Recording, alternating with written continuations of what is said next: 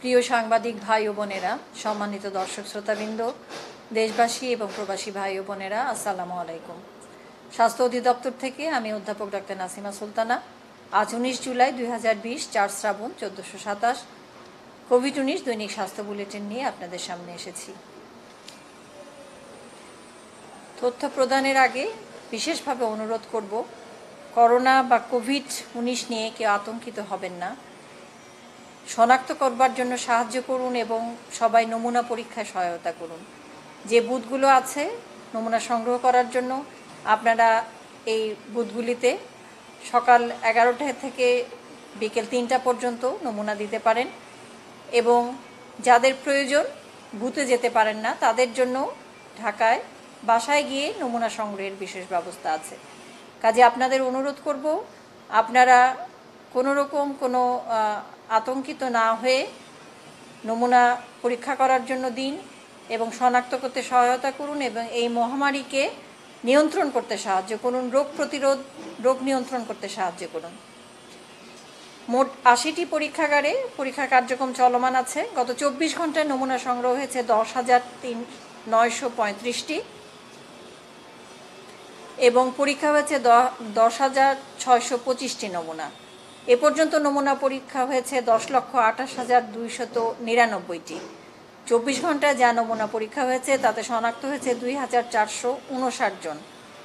এ পর্যন্ত শনাক্ত দুই লক্ষ চার হাজার পাঁচশো পঁচিশ জন। চব্বিশ ঘণ্টা শনাক্তের হার তেইশ দশমিক এক চার শতাংশ এবং এ পর্যন্ত শনাক্তের হার উনিশ দশমিক আট নয় শতাংশ।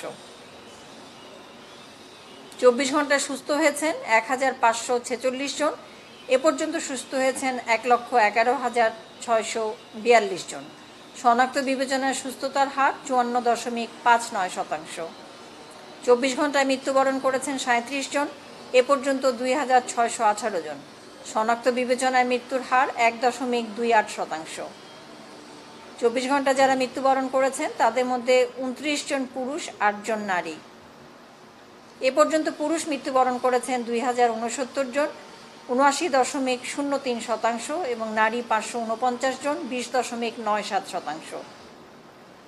চব্বিশ ঘন্টায় যারা মৃত্যুবরণ করেছেন, তাদের বয়স বিভাজনে একুশ থেকে তিরিশ বছর এবং একত্রিশ থেকে চল্লিশ বছরের একজন একজন করে একচল্লিশ থেকে পঞ্চাশ তিনজন একান্ন থেকে ষাট ছজন একষট্টি থেকে সত্তর বিশ জন, একাত্তর থেকে আশি চারজন একাশি থেকে নব্বই এবং নব্বই থেকে একশো বছরের একজন একজন করে। এ পর্যন্ত মৃত্যুবরণ করেছেন বয়স বিভাজনে শূন্য থেকে দশ বছরের সতেরো জন, দশমিক ছয় পাঁচ শতাংশ, এগারো থেকে বিশ বছরের উনত্রিশ জন, এক দশমিক এক এক শতাংশ, একুশ থেকে তিরিশ উনআশি জন, তিন দশমিক শূন্য দুই শতাংশ, একত্রিশ থেকে চল্লিশ একশো একাশি জন, ছয় দশমিক নয় এক শতাংশ একচল্লিশ থেকে পঞ্চাশ, তিনশো সত্তর জন, চোদ্দ দশমিক এক তিন শতাংশ।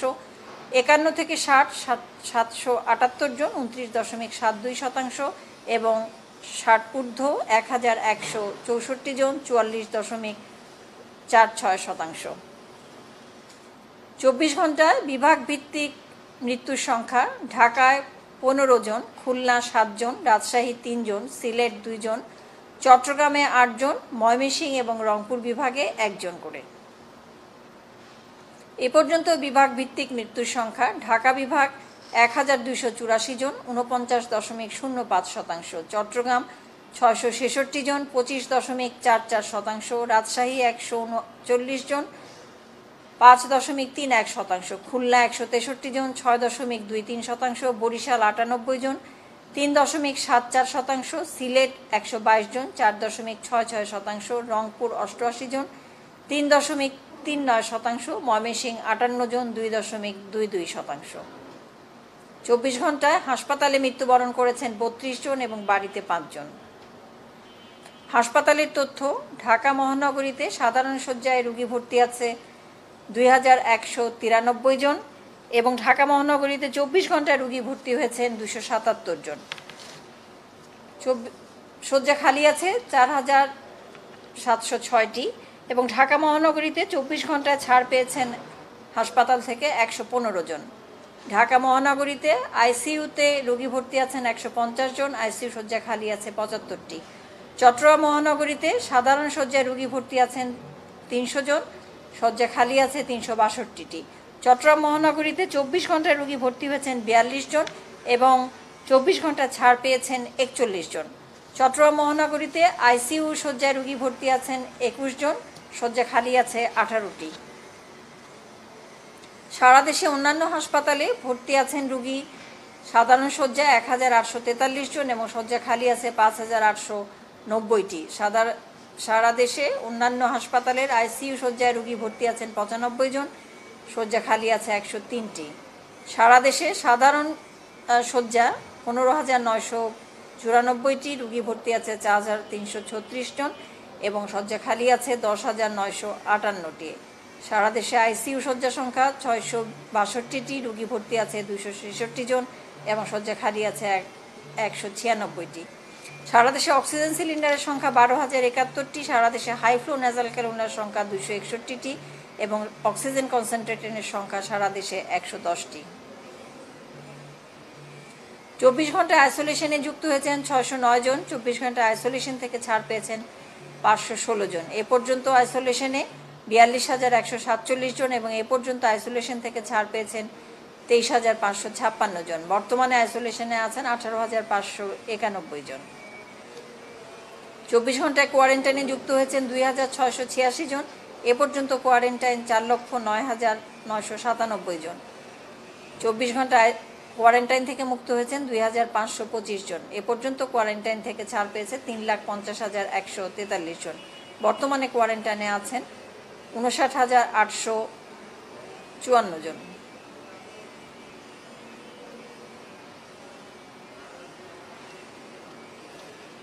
ফোন কল গ্রহণ করা হয়েছে চব্বিশ ঘন্টায় ছিয়ানব্বই হাজার দুইশো তিরাশিটি এবং এ পর্যন্ত ফোন কল গ্রহণ করা হয়েছে এক কোটি উনসত্তর লক্ষ চব্বিশ হাজার ছশত একাশিটি।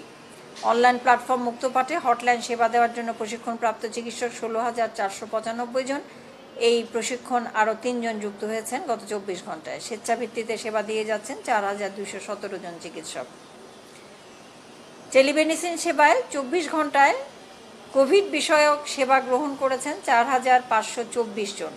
এবং এ পর্যন্ত শুধুমাত্র কোভিড স্বাস্থ্যসেবা গ্রহণ করেছেন সাতানব্বই হাজার সাতশো ষোলো জন।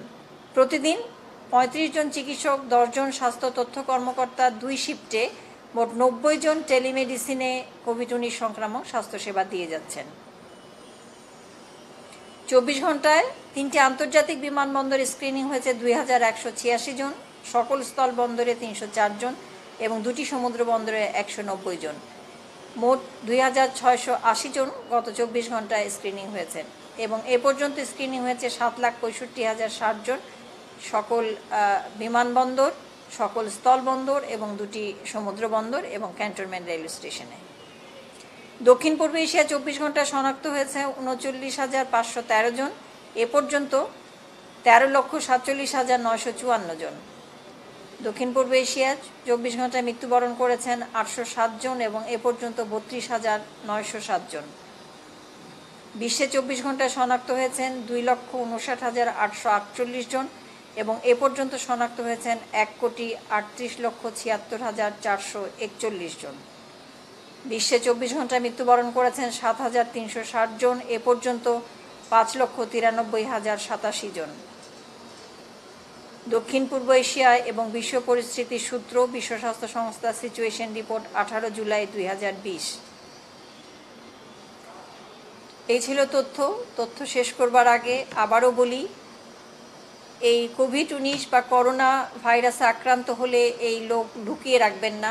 অবশ্যই যে কোনো লক্ষণ উপসর্গ হলে বা, এরকম কোনো রোগীর কাছাকাছি আসলে পরীক্ষা করান।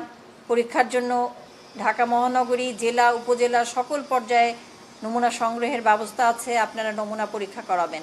এবং যা যা প্রতিরোধের জন্য যা যা ব্যবস্থা আমরা প্রতিনিয়ত বলে থাকি, সেগুলো অবশ্যই মেনে চলবেন। যেমন, প্রত্যেকেই সঠিকভাবে মাস্ক পরবেন, বারবার সাবান পানি দিয়ে বিশ সেকেন্ড ধরে হাত ধুবেন, জনসমাবেশ এড়িয়ে চলবেন এবং সামাজিক দূরত্ব বজায় রাখবেন। তাছাড়া রোগ প্রতিরোধ ক্ষমতা বৃদ্ধি করার জন্য সুষম, পুষ্টি সমৃদ্ধ খাবার গ্রহণ করতে হবে এবং অবশ্যই নিরাপদ খাবার। পুষ্টি সমৃদ্ধ খাবার বলতে যেখানে সবগুলো ভিটামিন থাকে, সেই সব খাবার আমাদের গ্রহণ করতে হবে এবং তার সাথে আঁশ জাতীয় খাবারও থাকতে হবে। ভিটামিন সি সমৃদ্ধ খাবার রোগ প্রতিরোধে সহায়ক হয় কাজী ভিটামিন সি সমৃদ্ধ খাবার, টাটকা ফলমূল, শাকসবজি গ্রহণ করবেন। জিঙ্ক সমৃদ্ধ খাবার রোগ প্রতিরোধকে সহায়ক হয় এবং ইমিউনিটি বাড়ায় এবং আমিষ জাতীয় খাবারের মধ্যে জিঙ্ক পাওয়া যায়। তাছাড়াও ধূমপান, যে তামাক এবং তামাকজাত পণ্য- যে কোনো মাদক, সব ধরনের অসুখের জন্যই ক্ষতিকর এবং করোনা ভাইরাসের ক্ষেত্রেও যারা ধূমপান করছেন, মাদক গ্রহণ করছেন, তাদের জন্য ঝুঁকি বেশি। কাজে অবশ্যই ধূমপান যে কোনো ধরনের তামাক, তামাকজাত পণ্য এবং মাদক পরিহার করুন, নিজে সুস্থ থাকুন। তাছাড়া আমাদের বয়স্ক বয়োজ্যেষ্ঠদের প্রতি অবশ্যই যত্নবান হতে হবে। যারা অসংক্রামক ব্যাধিতে ভুগছেন, তারাও নিজেদের প্রতি যেমন সচেতন থাকবেন এবং বাড়ির কেউ অসংক্রামক ব্যাধি থাকলে তাদের প্রতিও সবাই যেন আমরা সজাগ দৃষ্টি রাখি। কারণ যারা অসংক্রামক ব্যাধি, যেমন উচ্চ রক্তচাপ, diabetes, cancer, heart disease, kidney disease বা ফুসফুসের অসুখে ভুগছেন, তাদের ক্ষেত্রে করোনা ভাইরাসে আক্রান্ত হলে ঝুঁকি বেশি। কাজে আমরা ঝুঁকি এড়িয়ে চলি, সবগুলো নিয়ম মানি এবং সবাই নিজেরা সুস্থ থেকে বাংলাদেশকে সুস্থ রাখি। সবাই ভালো থাকবেন সুস্থ থাকবেন। অনেক অনেক ধন্যবাদ। আসসালামু আলাইকুম।